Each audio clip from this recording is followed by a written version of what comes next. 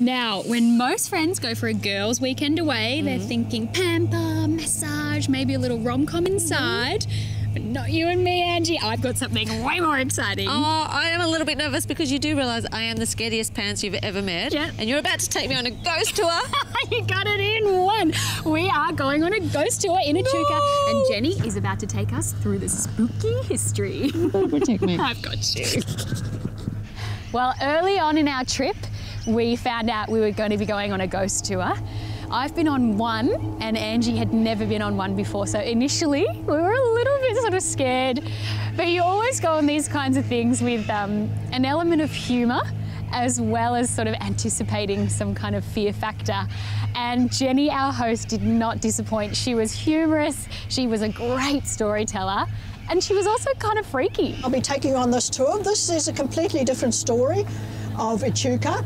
It's the darker side. Now, I had an unusual upbringing. Um, that's why I'm a bit weird. I grew up in South Africa, and my father died in the war. And when I was a kid, I had friends playing with me. I didn't know they weren't real. As far as I was concerned, they were real. And luckily, I had a nanny who was, who was a witch doctor, and she managed to teach me what was real and what wasn't. And uh, yeah, she was just a wealth of knowledge.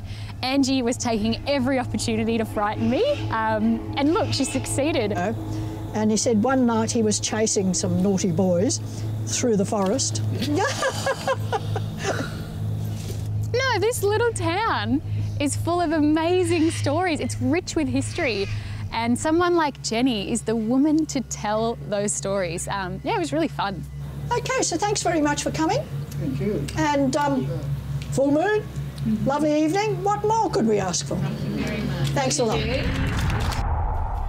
Well, Echuca has certainly shown us some incredible sights. And Robby, we're only just scratching the surface. That's right, but unfortunately, Angie, it's all we've got time for this week. And it's all been brought to you thanks to our good friends at the Murray Regional Tourism Board. As well as the Caravan Industry Association, Victoria. That's right, and we are itching to show you more of Echuca, so come back next time as we show you what's up down, Down under. under. What's up down under?